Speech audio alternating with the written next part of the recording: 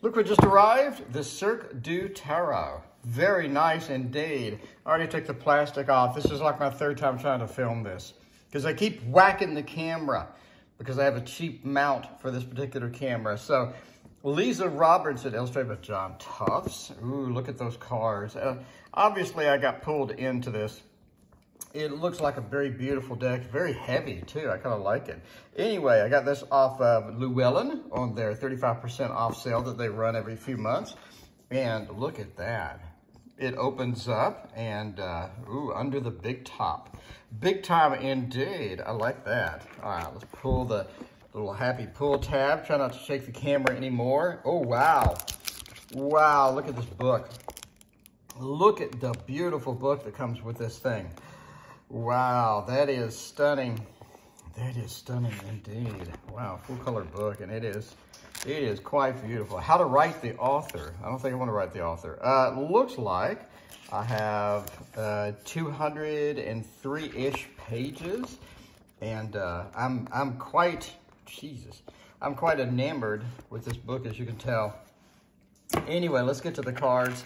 I know most people are going to see the cards instead of the book, and that's fair. Ooh, look at that. You know, they did a fantastic job with just the packaging, all this other stuff. So let's open this thing up and see what goodies we have within. I'm pretty excited, I gotta say. So that is really kind of, I, I, guess I expected for the for the packaging being that nice. Very, very cool. I guess I expected, uh, because I expected some, some gilded edges or some silver edges or something, just standard edges. Here are the cards. Here is the back of the cards. Everybody wants to see that. Lamination. Mm, a lot of lamination. Let's see what the card quality looks like. That's, that's, that's not, well, that's two cards. Duh. That, that comes up to about here. I mean, it's not thick. It is, it is on the, uh, it is kind of more on the standard Llewellyn side. So if you don't mind that, that's okay. Look at the cards. The Fool, sort of riding through the circus tent almost. Have a little bit of a Magician. Ooh, that's kind of cool. On the big top hat with the opening circus kind of curtain there as well. Have the High Priestess, very pretty indeed. They have the Empress, very comfortable. Oh, that's interesting. We have an extra character chasing rabbits around. Interesting, interesting. I rarely see an extra character wandering around the Empress card. I, I can't remember the last deck that had that. Normally it's just the Empress and that's all you get. Emperor is by themselves though. We have an extra character here, maybe a mirror image, something type.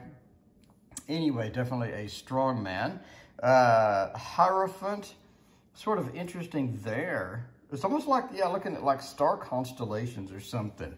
So the Hierophant is, is infatuated with star constellations or whatever is going on up here. I like that. The cup is an interesting piece. The cup is interesting indeed. And you also have an extra character there. So does every one of these have an extra character? That's interesting. We have the lovers, sort of a backstage action dressing room action indeed. We have the chariot uh, being pulled along. Huh, okay.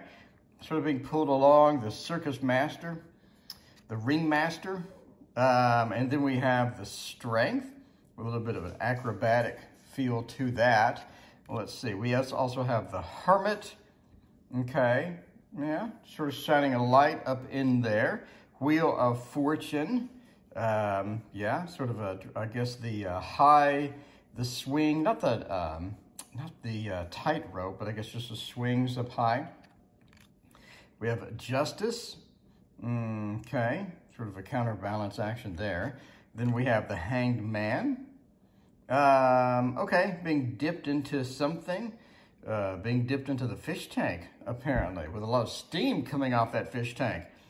Death, cool, genie type of feel here. Mm, double genie. Temperance. Not sure what's going on there. The devil. Interesting. Being sort of manipulated, being held in.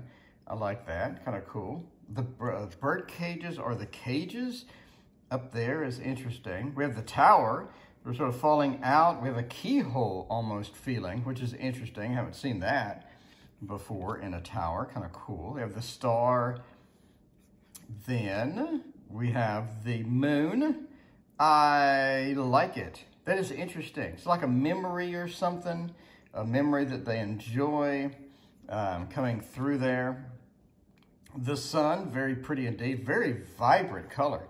Like all these other cards are kind of muted. That one just went all out. Very, uh, very vibrant. Judgment with the E. I know some people are pretty upset when Judgment doesn't have the E. anyway, so uh, yeah, Judgment. Rebirth, the reincarnation, sort of playing music and summoning something, it feels like. The world, okay. All right, sort of traveling around the world, all of that good stuff. We have the page of swords. So this is way out of order, okay. Don't get mad at me. I didn't put it out of order. Page of swords.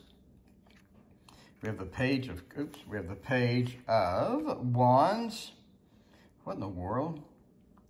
So they just duplicated that across there? Oh, man, okay. Uh, originality just kind of went by the wayside. We just changed the color, changed the character a little bit, changed the outfit a little bit. Maybe there's some. In the book, it probably explains exactly what the outfits are. I don't know. So here's kind of a closer look so it looked like they put on makeup and then it talks about an ally. It's time to prepare your mind, young page. Talks about stage fright. Then you have the page of wands, which looks almost exactly the same. And it talks about, unlike other pages, this one finds sitting and staring into the makeup rather dull. I don't see, okay, it's rather dull here. It also looks rather dull here too, I guess. I mean, it looks like that, well, it looks like this page and that page and that page. Yeah, it just seems a little too similar to me. It kind of kind of weak on the pages, in my opinion. It does have differentiation in the book, but for me, I would have liked more differentiation with that. Oh my, looks like we did the same with the knight. Okay with the knight, this knight here, that knight there. We have that knight there, and that knight there. Then we have, I guess they're doing the same thing with all the courts. So we have a Queen of Swords, a Queen of Wands. Then you have a Queen of Cups, followed by a Queen of Pentacles. Yeah, kind of rubber stamp there. A King, basically look like just a reversed queen. it looks kind of a reversed queen to me. It just looked like they got this image, flipped it, changed the color palette, changed the objects. Okay, well, actually, let's go see. Let's go see. Let's go see. All right, so is this a mirror image of the other one? You decide. Is that a mirror image of the other one? It, it looks like it. It looks kind of like it indeed. I mean, that is almost an exact mirror image of that. And uh, just looked like they flipped the image. Literally looks like they just flipped the image and assigned it a king. Because that's a rather busty king, I gotta say. That is, that, that king has, has a bust to him. Um, so, you know what I'm saying? Yeah, it looks like they just flipped this stuff. Okay, well, King of Wands, King of Cups, King of Pentacles, and King of Cups. Let's look at the Queen of Cups real quick. So that, is that the same image? Wait a minute. That, that looks like the exact same image. I believe that is the same image, but just flipped with a little bit of differentiation on the crown, I guess and uh, the cup looks the cup looks exactly the same uh, in almost every way. So wow, wow, um, that is that is kind of lame. That is kind of lame. I'm not gonna lie. Okay, Ace of Swords is interesting. We have an Ace of Swords there. We have something coming through against more little, again, more little characters. Two of Swords, it's interesting, sort of a perspective in there, and then doing a, uh, a high, high swing dance, I guess. Three of swords. Here we go. Interesting, sort of an upset heartbreak. Uh, then we have the broken heart here with the dancing. Then we have a four of swords, the delay, the waiting. Uh, five of swords is here. It looks like they're just rubber stamping these swords. Yeah, it looks like they're rubber stamping the sword and just changing the outline, changing the vibrance, changing some aspects about it. Six of swords, I like that. That's kind of inventive. Five of swords, almost look like a little bit of a wheel of fortune there. So we have the seven of swords. And then sort of the escaping, capturing, stealing kind of thing here. We have a uh, dropped sword. Eight of swords, the restrictions. Interesting that we're going to do that with a little bit of a spider feel. I've seen that before with the Eight of Swords kind of a spider web. I do like that theme. I think that theme is pretty cool. Nine of Swords. And then the 10. So the 10 of Swords, the ending, the conclusion, loading up maybe the body, loading up the uh, corpse and somebody supervising almost. Ace of Wands is kind of cool. Wow, that is vibrant. Two of Wands, sort of a command of the Dominion, obviously. We have a Three of Wands with a little bit of a scanning, looking around, sort of looking down instead of outward. Uh, outward. You have a Four of Wands feel too. And then we have a Five of Wands. So very cool indeed. That is very vibrant, Six of Wands. Man, I really wish they, uh, do they go like that with the cups and what have you? Yeah, they kind of do. I guess it's just sort of a muted tone with the cups and then with the flames with the red, they just go all out. I like the Seven of Wands. That's kind of cool. Again, somebody orchestrating. Most of these cards have someone orchestrating the card, which I think is kind of cool. Eight of Wands, the movement. Not really sure what movement we have here. But sure, why not? Nine of Wands, Wounded Warrior. And we have the Ten of Wands, the Encumbrance, sort of uh, maybe fire breathing or smoke breathing at a minimum. And then you have somebody bowing down to them, which is kind of weird. So we have the Ace of Cups, the uh, new beginning, the new excitement. A little bit of a Two of Cups action here with a connection with the water connection. Kind of cool. I like the pearl within the clam or what have you, the pearl within the shell. Three of Cups, the friendship, the celebration. Kind of weird that you have somebody, it feels like they're almost like crying and the tears coming down with the Three of Cups. What? The celebration? With the Three of Cups, we have somebody crying almost, or somebody shocked, or something like that. It feels like there's a tear there. Um, or maybe that's just their hair. But the raining and things like that seems unusual for a Three of Cups card. Four of Cups uh, almost feels like a Six of Swords here. Four of Cups, um, not wanting something. The face within there is kind of cool. Five of Cups, um, sort of the despair, the spillage. A six with the connection, sort of family connection. I like the whale. It's kind of cool. Seven of Cups, kind of have a little octopus creature, what have you, with all sorts of different cups and different choices. That's a pretty card. And the Eight of Cups is also pretty with the abandonment and the loss and leaving. Nine of Cups, okay, we have sort of a big selection. And the Ten of Cups, happy home, happy family with the whale. And it's almost like a Three of Cups celebration here. Ace, with the cups lined up, it feels more like a nine of cups to me, with the cups lined up there.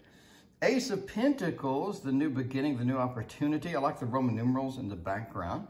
And the face with the nose being a pentacle is kind of cool.